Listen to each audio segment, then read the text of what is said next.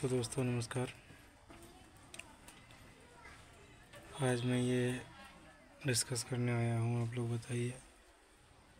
इस टाइम जो पढ़ाई कर रहा है, कर चुका है, वो ज़्यादा बेहतर है या जो पढ़ाई नहीं की है, वो बेहतर है? मैंने लमसम अच्छी खासी पढ़ाई कर ली है। मुझे तो इस टाइम ये एहसास हो रहा है कि मुझे पढ़ाई नहीं करनी चाहिए थी।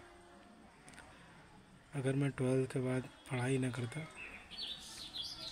तो आज मैं पैसा कमा रहा होता। लेकिन ट्वेल्थ के बाद पढ़ाई कर ली है, ट्वेल्थ वाला काम कर ही नहीं सकता। अभी नहीं कर सकता है। अभी नहीं कर सकता हूँ, लेकिन भूख प्यास वाला मामला आ जाएगा, तब करना पड़ेगा। अभी तो उम्मीद है कि हाँ काम, पढ़ाई के मुताबिक काम मिलेगा। पढ़ाई के मुताबिक काम अब नहीं मिल रहा है। ये उम्मीद भी छोड़नी पड़ेगी। कैसी भी स्थिति रहे, अपनी परि, अपना शरीर सही रहे या नहीं सही रहे, बाहर रहना पड़ेगा, कुछ भी करना पड़ेगा।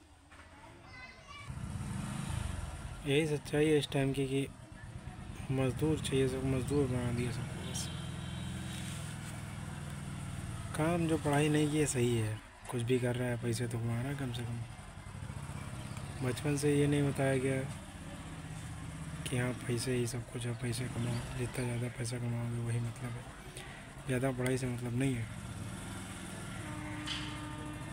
ज़्यादा पढ़ाई मतलब ज़्यादा पैसा, ऐसा है ये नहीं।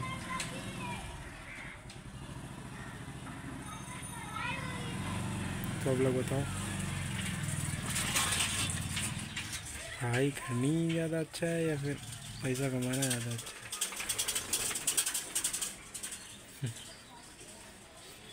हम सोच रहे अपने को पैसे कमाएँगे लेकिन पैसे कैसे?